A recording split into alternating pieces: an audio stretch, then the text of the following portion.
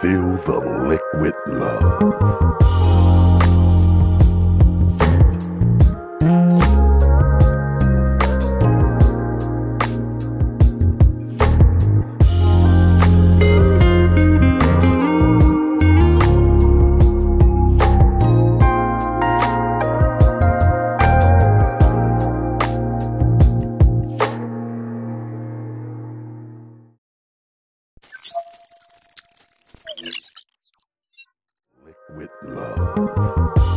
นนี้นะครับ ผมนนท์ไอมดจะพามาชม Mercedes-Benz ให้จุใจถึง 3 คันเลย ซึ่งคันแรกก็คือ Mercedes-Benz Vision 111 นะครับ เป็นรถ Vision ของทาง Mercedes-Benz ที่ได้รับแรงบันดาลใจมาจาก C111 และได้มอเตอร์ไฟฟ้าตัวใหม่ สวยงามด้วย Go Wing ประตูแบบปีกนกจะเป็นไงเดี๋ยวผมพาชม ส่วนคันต่อไปเป็นรุ่น Limited ของ G63 นั่นก็คือ Grand Edition นั่นเองนะครับ ที่ได้โคต้าในประเทศไทยเพียงแค่ 10 คันเท่านั้น แต่ทั่วโลก 1,000 คัน ส่วนคันสุดท้ายก็คือ GLS 4 5 450D 4MATIC AMG Dynamic นะครับเป็นรุ่นปรับโฉมนั่นเอง ทั้ง 3 คันจะเป็นยังไงเดี๋ยวนี้ผมพาชมครับ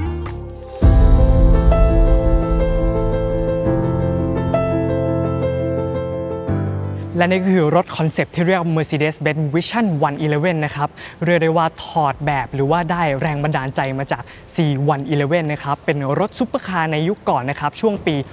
69-70 นะครับ ที่ถอดแบบมาจาก C111 Mark II นั่นเอง เรียกได้ว่าครั้งนี้นะครับ Mercedes-Benz พยายามจะนำกลับมาชุบชีวิต แล้วทำเป็น concept นะครับ คันนี้ได้การดีไซน์ที่สวยงามที่เรียกว่า One Bow Design นะครับ จะเป็นดีไซน์ที่โค้งนะครับทำให้หลักพลศาสตร์หรือว่า aerodynamic ดีมากๆ นะครับผมขอเล่าเกี่ยวกับ C111 ในอดีตให้ฟังก่อนนะครับ ถือว่าเป็นรถ sports car ที่ทาง Mercedes-Benz พยายามจะทำ R&D หรือว่าทดลองทำรถสปอร์ตขึ้นมาสักคัน แล้วก็ได้เครื่องโรตารี่ในยุคนั้นนั่นเองนะครับ คันนี้ได้กลิ่นอายมาทั้งหมดเลย แล้วทาง Mercedes-Benz นะครับ พยายามจะทำให้คันนี้มีความ simplistic ครับ ก็คือดูเรียบง่ายแต่ดูหรูหรา ใส่ใจในเรื่องของ surface ทุกมุมเหลี่ยมทุกมิติให้ดูโค้งมนสวยงาม ตามการออกแบบของ Mercedes-Benz ในยุคนี้ที่เรียกว่า One Bow ที่ผมได้แจ้งไปนะครับ แล้วก็ทำยังไงก็ได้นะครับ ให้คันนี้ดูมีความ futuristic แต่ก็ยังได้กลิ่นอาย retro จาก C111 ตัวจริงนั่นเองนะครับ คันนี้นะครับที่น่าตื่นเต้นมากๆก็คือ ได้รับมอเตอร์ไฟฟ้าใหม่นะครับที่เรียกว่า Axial Flux หรือว่าเป็นมอเตอร์ไฟฟ้าที่ได้พัฒนามาจาก YASA นะครับเป็นบริษัทจาก UK ที่ผลิตมอเตอร์ไฟฟ้าให้กับ Mercedes-Benz โดยเฉพาะเลย แล้วต้องแอบกระซิบนิดนึงนะครับว่ามอเตอร์ไฟฟ้าตัวนี้จะถูกนำไปใช้ใน Mercedes AMG ไฟฟ้าซูเปอร์คาร์ที่กำลังเริ่มนำทดสอบที่ผมเคยได้เขียนบทความไปด้วยนะครับเรียกได้ว่ามอเตอร์ไฟฟ้านี้จะถูกนำไปใช้ในรถสปอร์ตไฟฟ้าของทาง Mercedes-Benz ยุคใหม่นั่นเองครับ ยังไงก็ต้องมาจับตามอง และอีกหนึ่งไฮไลท์ของตัว Vision 111 คันนี้เลย ที่เราเห็นได้ชัดมากๆ ก็คือตัว Gullwing นะครับหรือว่าเป็นประตูแบบปีกนกนางแอ่นนะครับที่ได้รับแรงบันดาลใจมาจาก Mercedes-Benz 300 SL นะครับถือว่าเป็นรถรุ่นแรกที่ได้ดีไซน์ Gullwing แบบนี้มานั่นเองนะครับเรียกได้ว่าคันนี้มีกลิ่นอายที่หลากหลายมากๆ แล้ว body paint คันนี้นะครับจะเห็นได้ว่าเป็นสีส้มสวยสะดุดตามาตั้งแต่เจ้า C111 นะครับซึ่งสีนี้นะครับจะเรียกว่า Striking Copper Orange Alubeam นะครับ เรียกได้ว่าสวยมาก ๆ และคันนี้จะตัดกับสีดำ สีขาว และสีซิลเวอร์ที่เป็นอินเท i รียภายในนะครับ เรียกได้ว่าข้างนอกดูมีความสวยงาม ได้ feel เดียวกับ C111 อย่างครบถ้วนเลยนะครับ แล้วก็หากทำการปิดเจ้าตัว Gullwing คันนี้ลงไปนะครับ เราจะเห็นได้ว่าคันนี้เขาพยายามเล่นสีส้มอะให้ครบรอบคันเล่นขึ้นมาข้างบนด้วย เพื่อให้กลิ่นอายครบถ้วนเหมือนกับเจ้า C111 จริง ๆ นะครับ แต่ว่ามันก็จะมีการ fade เม็ดสีนิดนึงนะครับทำให้เวลาเข้าไปนั่งภายในจริงๆครับเราจะเห็นทัศนวิสัยออกมาได้อย่างกว้างขวางและชัดเจนมากนั่นเองครับและคันนี้นะครับกระจังหน้าได้เป็นดีไซน์ตัว U แนวนอนยาวนะครับโดดเด่นด้วยหน้าจอแบบพิกเซลล้ำสมัย แล้วก็มีกลิ่นอายในยุคเรโทรเล็กๆครับพอเอามาเข้ากับเจ้าตัว Vision 111 คันนี้คือลงตัวมากๆ จะเห็นได้ว่ากลมๆนะครับทั้งซ้ายและขวาก็เสมือนไฟหน้าของเจ้า C111 นั่นเองครับ สิ่งที่ยังได้กลิ่นอายมาชัดเจนก็คือตัวช่องลมตรงนี้ครับ สีดำตัวนี้เจาะมาเหมือน C111 เลยสวยงามมากๆนะครับ ตรงนี้ก็จะเป็นตัวกล้องนะครับ ทาง Mercedes-Benz บอกว่า ถ้าการใช้งานจริงตัวนี้กล้องก็จะป๊อปเอาออกมานั่นเองนะครับ ส่วนดีไซน์ของล้อนะครับเรียกว่าชิ้นใหญ่เข้ากับซุ้มโป่งสวยงามเลย แล้วก็ดีไซน์ที่ทำให้ดูสปอร์ตมากๆของคันนี้ก็คือมี center lock ที่เล่นเป็นสีส้ม เข้ากับตัวรถได้อย่างลงตัวนั่นเองครับ และไฮไลท์ที่เด็ดมากๆก็คือเจ้า Gullwing หรือว่าประตูแบบปีกนกนางแอ่นนะครับจะเห็นได้ว่าเปิดขึ้นมาอย่างนี้ เป็นดีไซน์ที่สวยงามที่ได้รับมาตั้งแต่ 300 SL แล้วนะครับจะทำให้เราสามารถขึ้นลงรถได้อย่างกว้างขวางมากยิ่งขึ้นนะครับแล้วก็จะทำให้เราเห็นการดีไซน์ภายในได้อย่างสวยงาม แล้วเวลารถจอดอยู่นะครับแล้วเปิดขึ้นมา มันจะเป็นเอกลักษณ์ที่ทำให้คนรู้ได้เลยว่า อันเนี้ยเป็นการออกแบบที่ unique มาก ๆ ของทาง Mercedes-Benz มาตั้งแต่ยุค 50 แล้วนั่นเองครับ ส่วนด้านหลังนะครับ เล่นไฟท้ายแบบสวยงาม เพราะว่าได้ U design มาเหมือนกัน แล้วก็ใช้ตัวพิกเซลสามารถแสดงคำว่า111มาให้เห็นนะครับ แล้วก็อาจจะสามารถแสดงเป็นพิกเซลอย่างอื่นได้อีกเช่นกันนะครับ เรียกได้ว่าเป็นดีไซน์ที่เข้ากับยุคสมัยนี้มาก ๆ เลย และ diffuser ชิ้นด้านล่างนี้นะครับ เรียกว่าดีไซน์ออกมาดูสปอร์ตมาก ๆ ชิ้นใหญ่นะครับ แต่ก็เล่นดีไซน์เจาะทะลุนะครับทำให้เราเห็นมิติของตัวรถลึกเข้าไป แล้วเห็นตัวความกว้างหรือโป่งของตัวล้ออีกด้วยนะครับ ถ้าหากดูจาก ภาพด้านหลังโดยรวมของคันนี้นะครับจะให้ความ futuristic แล้วมีความสปอร์ตที่หนักแน่นมากๆครับ ข้อดีของตัวมอเตอร์ไฟฟ้าใหม่ที่เรียกว่า Axial Flux ของคันนี้นะครับก็คือตัวมอเตอร์นะครับจะเข้าไปชิดกับตัวล้อมากยิ่งขึ้น เราจะเห็นได้ว่าสีน้ำเงินตรงนั้นนะครับก็คือเป็นมอเตอร์ไฟฟ้าเลยนั่นเองทั้งหน้าและหลังมันจะทำให้ได้พื้นที่ห้องโดยสารเพิ่มมากขึ้นนะครับเราจะเห็นได้ว่าไม่ว่าข้างบนหรือข้างหน้านะครับใต้ฐานล้ออะก็คือจะเป็นพื้นที่ภายในห้องโดยสารเลยนั่นเองครับเรียกได้ว่าจะทำให้การออกแบบห้องโดยสารสามารถทำอะไรได้มากขึ้นนั่นเองสำหรับ Mercedes-Benz ในยุคใหม่ๆนั่นเองครับ และอีกหนึ่งกิมมิคของเจ้า Vision 111 คันนี้นะครับก็คือทาง Mercedes-Benz ได้ออกแบบกระเป๋าเดินทางที่มีความแฟชั่นมากๆนะครับ match กับตัวรถเลยคือเล่นเป็นสีซิลเวอร์ตัดกับสีส้มนะครับสวยงามมากๆ ผมอยากจะพูดถึงตรงนี้นิดนึงนะครับว่าหลังจากที่ Virgil Abloh นะครับได้เคยมา collab กับทาง Mercedes-Benz นะครับทำให้ทาง Mercedes-Benz ได้รับกลิ่นอายในเรื่องของการเป็นแฟชั่น a b l e มากยิ่งขึ้นในการทำคอนเซปต์ต่างๆ มา คันนี้ผมว่าเขาได้อุทิศนะครับให้กับทาง Virgil Abloh ว่าเขาจะได้รับอิทธิพลในเรื่องของการออกแบบ อาร์ตหรือว่าแฟชั่นมากยิ่งขึ้น ในรถของทาง Mercedes-Benz อันนี้ผมก็ต้องขอพูดถึงการออกแบบ collab ตรงนี้ด้วย กระเป๋าใบนี้สวยงามมากๆ เช่นกันครับเรียกได้ว่านี่คือเป็นดีไซน์ภายนอกโดยรวมของเจ้า Mercedes-Benz Vision 111 ของคันนี้นั่นเองครับ เดี๋ยวผมพาชมภายในครับว่าจะสวยงามขนาดไหนครับ ขออนุญาตนะครับขึ้นมาบนเจ้า Vision 111 คันนี้นะครับ แต่ต้องขออนุญาตถอดรองเท้านะครับ เพราะว่าทาง Mercedes-Benz เขา ต้องให้ถอดรองเท้าก่อนนะครับโอ้โห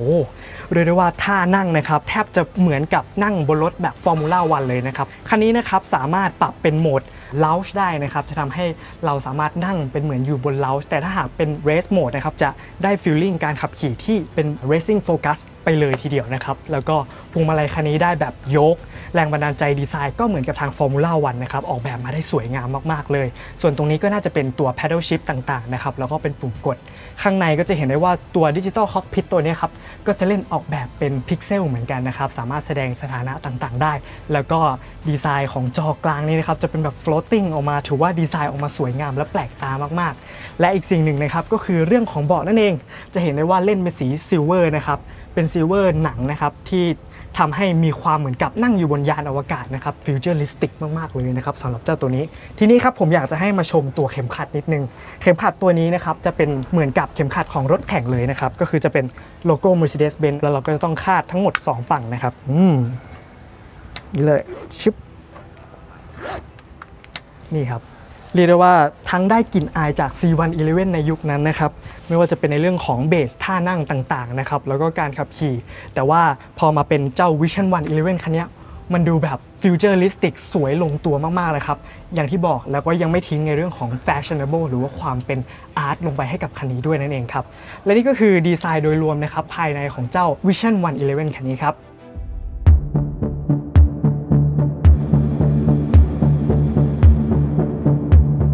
และนี่ก็คือ G63 นะครับ Grand Edition เนี่ยเรียกได้ว่ารุ่น Limited มาให้คนไทยได้เก็บและจับจองกันอีกนะครับ คันนี้โคต้าทั้งโลกนะครับ มีทั้งหมด 1,000 คัน แต่ว่าในไทยได้เพียง 10 คันเท่านั้นนะครับ และจะเปิดให้จองในช่วงมอเตอร์โชว์นะครับ หากใครเป็นแฟนๆ G63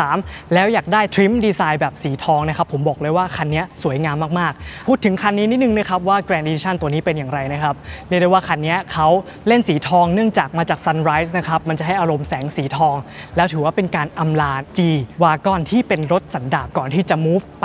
EQG นั่นเองนะครับ ผมพาดูนะครับว่าคันนี้น่าสนใจมากน้อยแค่ไหนสำหรับคันนี้นะครับได้สีดำที่เรียกว่า Manufaktur night black magno มานะครับแล้วก็ตกแต่งสลับกับสีทองที่สวยงาม แล้วก็จะได้พวกตราดาวกระจังหน้าต่างๆ มาสวยงามนั่นเอง แล้วตัวล้อ spare นะครับจะได้กราฟิกสีทองที่เรียกว่า Kalahari Gold มาด้วยนั่นเองครับแต่สำหรับโลโก้ AMG และ Mercedes-Benz รอบคันนะครับจะได้สีทองที่เรียกว่าเทคโกนั่นเองครับ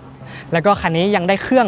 ตัวแรงประจำการเหมือนเดิมก็คือตัว V8 ไบเทอร์โบแล้วก็เป็นเครื่องรหัส M177 ที่ได้ไปประจำการให้กับเจ้ารหัส 63 ทั้งหลาย รวมถึง Aston Martin พวก Vantage DB11 ด้วยเช่นกันนะครับเรียกได้ว่าไม่ต้องห่วงในเรื่องของสมรรถนะ Performance 63 คันนี้ครับ แต่ว่าคันนี้เขาจะขายในเรื่องของดีไซน์ แล้วก็เป็นการอำลาของเจ้า G63 ซะมากกว่านั่นเองครับ ส่วนล้อนะครับเราก็จะเห็นได้ว่าเล่นเป็นสีทองสวยงามมากๆ ที่ผมบอกเลยว่าหลายคนน่ะถึงแม้ได้ G63 ไม่ว่าสีไหนก็ตามทุกคคนก็พยายามอยากจะไป wrap ตัวล้ออลลอยนะครับให้เป็นสีทองนั่นเองเรียกได้ว่าคันนี้ ไม่ต้องทำอะไรเพิ่มเลยครับ สวยมากแล้วมันตัดกับคลิปเปอร์เบรกสีแดงได้อย่างลงตัวมากๆนะครับแต่ว่าตรงนี้นะครับผมอยากจะให้ดูนิดนึงตัว trim ตรงนี้นะครับเล่นเป็นสีทองก็จริง แต่ว่าจะเป็นสติกเกอร์นะครับซึ่งถ้าหากใครไม่ชื่นชอบตัวสติกเกอร์ตรงนี้นะครับก็จะสามารถขอให้เอาออกได้นั่นเอง ตัวทริมสติกเกอร์นะครับจะมีตัวข้างประตูตรงนี้นะครับแล้วก็ตัวกระจกหน้านี้ด้วยเช่นกันสามารถ remove ออกได้เพียงแค่แจ้งทาง Mercedes-Benz ไปก่อนที่เราจะสั่งนั่นเองครับ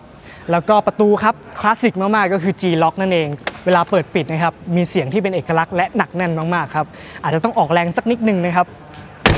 ที่ฟังแล้วรู้สึกไพเราะทุกครั้ง และมีความหนักแน่น สมกับเป็นออฟโรดยอดนิยมของทาง Mercedes-Benz อย่าง G-Wagon นั่นเองครับ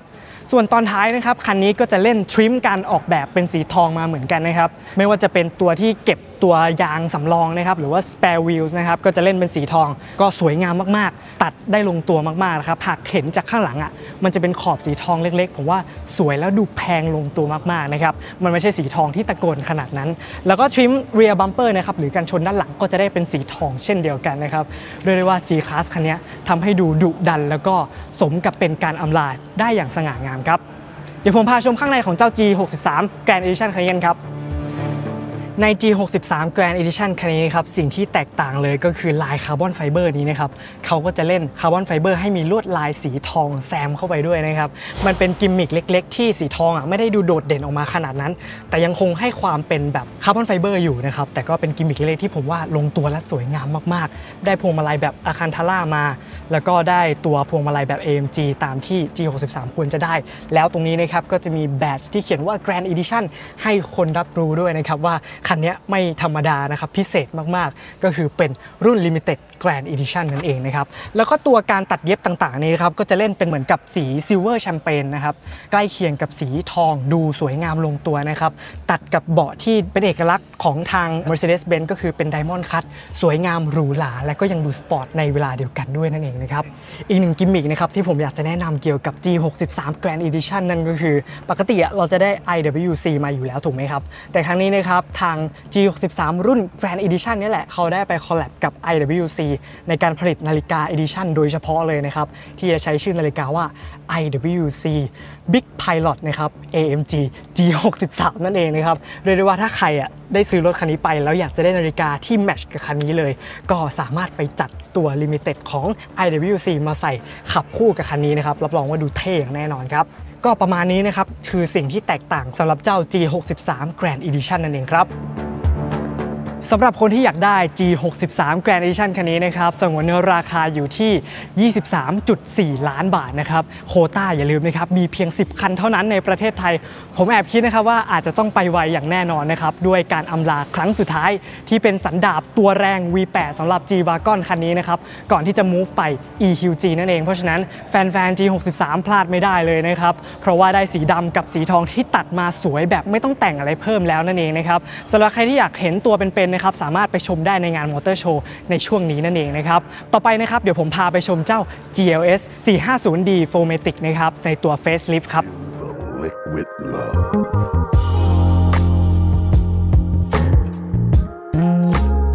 และนี่ก็คือ GLS 450D 4matic AMG Dynamic นะครับ เป็น full size SUV ที่ใหญ่ที่สุดของทาง Mercedes-Benz เรียกได้ว่ารอบนี้เป็นรุ่น facelift หรือว่ารุ่นปรับโฉมที่จะทำให้ดูหรูหราและน่าใช้งานมากยิ่งขึ้นนะครับ ต้องบอกก่อนเลยว่าราคาคันนี้เปิดมาได้ดีมาก ๆ เพราะว่าเพิ่มเติมจากรุ่นก่อนหน้าที่เป็น GLS 350D นะครับ เพิ่มมาเพียง 1 0 0 0 0 แต่สามารถได้ option เพิ่มเติม แล้วก็ design language ที่สวยงามมากยิ่งขึ้น เรียกได้ว่ายังได้ความเป็น S Class นะครับ ยกมาไปอยู่ใน SUV เสมือนกับว่าเป็น S Class ในร่างของ Full Size SUV นั่นเองครับ โดยคันนี้นะครับก็ได้เครื่องยนต์ดีเซล 6 สูบแถวเรียง 3.0 ลิตรนะครับ แล้วก็ได้ตัวเทอร์โบนะครับแบบ2 stage มาจับคู่กับเกียร์ 9 จังหวะ G-tronic นะครับ จะสามารถทำพละกำลังได้ 367 แรงม้านะครับ แล้วก็แรงบิดอยู่ที่ 750 นิวตันเมตร มาในรอบต่ำที่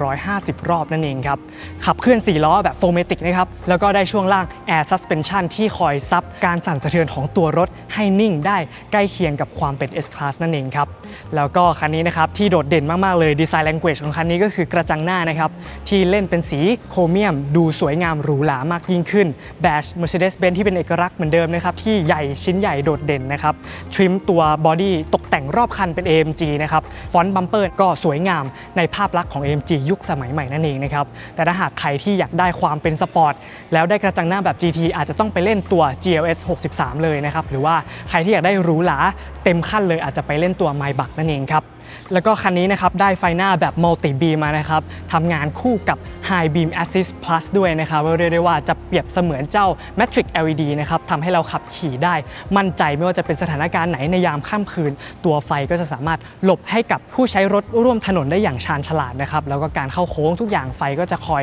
ช่วยเหลือเราเรียกว่าเต็มระบบเลยสำหรับคันนี้นะครับการออกแบบดีไซน์ด้านข้างนะครับก็เรียกว่าจะคล้ายคลึงกับตัวเดิมนะครับแล้วก็ได้ดีไซน์ล้อแบบ AMG มา จะเป็นล้อขนาด22 นิ้วเหมือนเดิมนะครับการดีไซน์นี้เราจะคุ้นชินกับเจ้า GLS มาเหมือนเดิมนะครับว่ามี body ที่ใหญ่แล้วก็บึกบึนน่าใช้งานมากๆ แล้วก็ยังคงได้คานขึ้นรถตรงนี้อยู่นะครับแต่ว่า user หลายๆ คนก็ยังคงบ่นว่าจริงๆ ไอชิ้นคานตรงนี้มันค่อนข้างสั้นไปนิดนึงนะครับทำให้การใช้งานจริงอะ่ะมันอาจจะไม่ค่อย functional เท่าไหร่นะครับในรุ่นปรับโฉมมาก็คงยังได้ชิ้นไซส์ประมาณเดิมมานั่นเองครับ ส่วนด้านหลังคันนี้นะครับก็ได้ไฟท้ายดีไซน์ใหม่มานะครับแล้วก็ไฟหน้าก็เป็น daytime running light ดีไซน์ใหม่เช่นกันนะครับอันนี้คืออีกหนึ่งสิ่งที่เราจะแยกจากรุ่นก่อนปรับโฉมได้นั่นเองนะครับดีไซน์ทุกอย่างเหมือนเดิมนะครับเล่นโครเมียมสวยงามนะครับให้ความหรูหราแล้วก็จะเป็นตัวท่อหลอกมาเหมือนเดิมนั่นเองครับ ส่วนสัมภาระตอนท้ายของ GLS Facelift คันนี้นะครับเรียกได้ว่าสะดวกสบายเหมือนเดิมเลย ก็คือจะมีทั้งหมด 7 ที่นั่งนะครับ หากจะต้องการจุสัมภาระเพิ่ม สามารถปรับเบาะโดยสารตอนที่3นะครับเป็นไฟฟ้าได้อย่างสะดวกสบายเลยนะครับโดยเราสั่งการพับทั้งหมดเลยก็ได้นั่นเองครับ นี่ครับมันก็จะเป็นการพับเก็บไม่ว่าจะเป็นเบาะโดยสารตอนที่ 3 หรือเราพับทั้งหมดตอนที่ 2 ก็เรียกได้ว่าจะสามารถจุสัมภาระได้เยอะมากๆเลยทีเดียวนั่นเองครับแล้วก็หากต้องการจะยกของที่มีน้ำหนักเยอะมากนะครับก็สามารถปรับตัวโชคถุงลม ให้ตัวรถนะครับมีความต่ำลงไป ที่จะทำให้เรายกของเก็บเข้าไปได้ง่ายมากยิ่งขึ้นนั่นเองครับและคันนี้นะครับก็มาพร้อมฝาท้ายแบบไฟฟ้าอีกด้วยเช่นกันครับ แล้วก็มีรองรับระบบเตะเปิดฝาท้ายได้ด้วยเช่นกัน โอเค เดี๋ยวผมพาชมภายในกันครับ ว่าคันนี้จะได้ออปชันมาจัดเต็มมากน้อยแค่ไหนนะครับ เพื่อตอบโจทย์คนที่อยากได้ Mercedes-Benz Full Size Luxury แบบ SUV กันครับ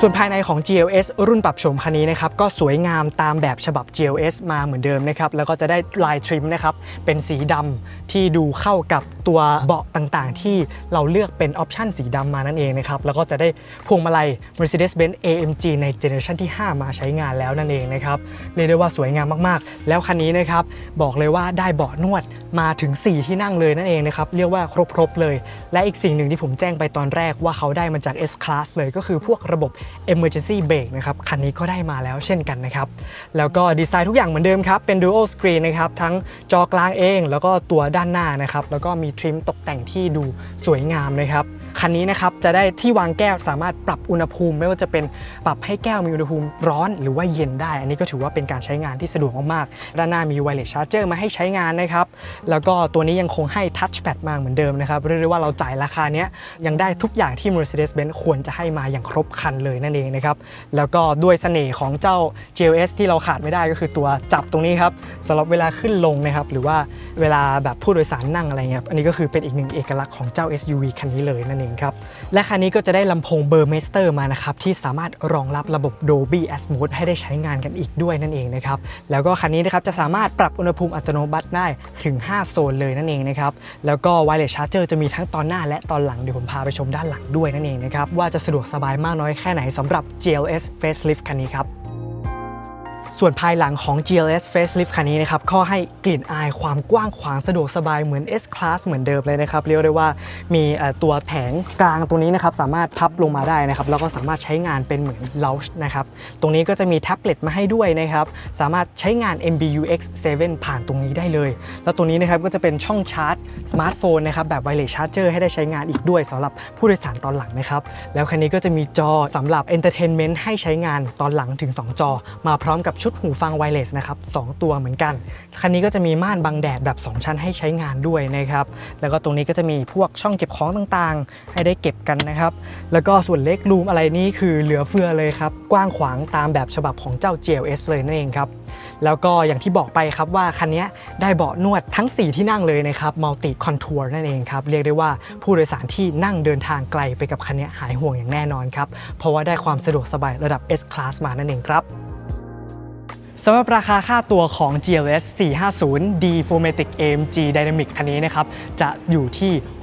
6.98 ล้านนะครับ ซึ่งเพิ่มมาจาก รุ่นก่อนปรับโฉมเพียง 1 0 0 0 0แบาทเท่านั้น แต่ได้ออปชันที่ผมแจ้งไปทั้งหมดเพิ่มมาครบคันนั่นเองครับ เรียกได้ว่าใครที่กำลังมองหา full size SUV จากทาง Mercedes-Benz นะครับ ที่ให้ในเรื่องของความหรูหราสไตล์แบบ S Class นะครับ ผมบอกเลยว่าคันนี้เป็นตัวจบอย่างแน่นอน เพราะไม่ใช่เพียงแค่หรูหรานะครับ สามารถเอาไปลุยออฟโรดได้อย่างจริงจังด้วยเช่นกันนะครับสำหรับใครที่สนใจสามารถไปชมตัวจริงได้ในงานมอเตอร์โชว์ที่จัดขึ้นในช่วงนี้นั่นเองนะครับผมนนท์ในมดก็มาพาชมทั้ง 3 คันให้ได้ชมกันนะครับแล้ววันนี้ผมต้องขอตัวลาไปก่อนขอบคุณและสวัสดีครับ